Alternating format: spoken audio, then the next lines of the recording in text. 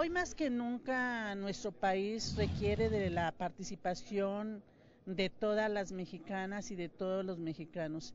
Necesitamos coincidir, necesitamos atender eh, este compromiso que tenemos con nuestro país para que todas y todos salgamos a votar este primero de julio, que escuchemos bien las propuestas de nuestros candidatos y que en base a las propuestas elijan la mejor opción.